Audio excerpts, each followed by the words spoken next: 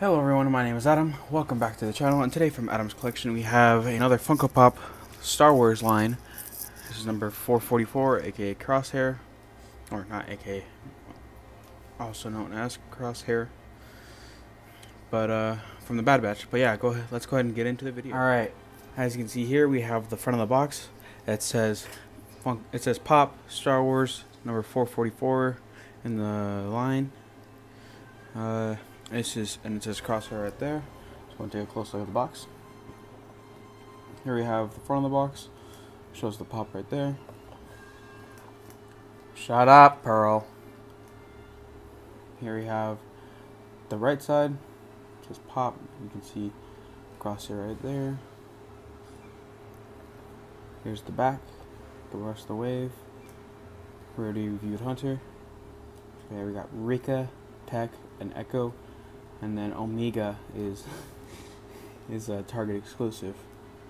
But yeah, as I said before, I really like the way they do these boxes for uh, the Bad Batch.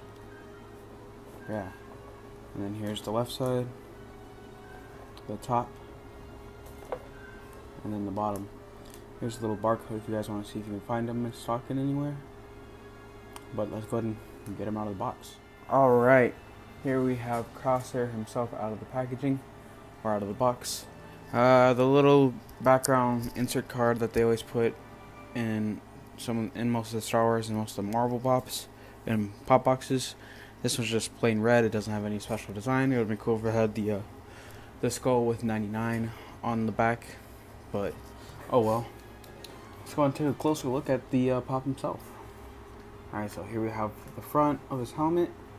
Got a little crosshair right there. And it's got some nice detail as well. Some nice battle damage as they, as they uh, painted on. Across the the range find the range finder right there. It does not come down, sadly, but oh well. Yeah, that's the right side. Here's the back. Very nice. The stripe is not perfectly aligned down the middle, but uh, oh well. The left side, and the top, and then the bottom. Yeah. Let's go into a close look at the body. Here we have the body. Got that really big shoulder pad right here.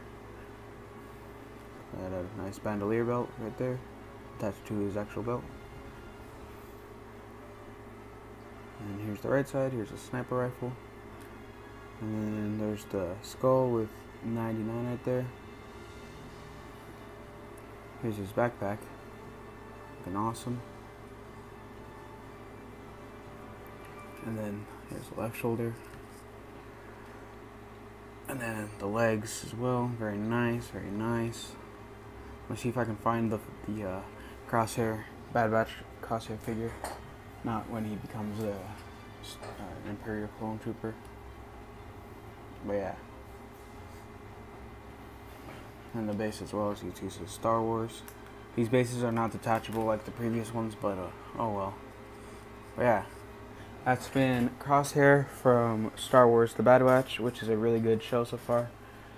Uh, the Bad Batch actually takes place right after Order 66 from Revenge of the Sith.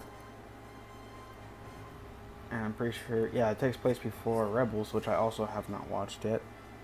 I've only watched the Clone Wars, but I, I'm rewatching that so I can refresh my memory, you know? But yeah. Uh, if you guys like this video, go ahead and leave a like and a comment down below. If you want to see more content like this where I review not only pops, but also figures, statues, and anything else, go and subscribe. Up to you.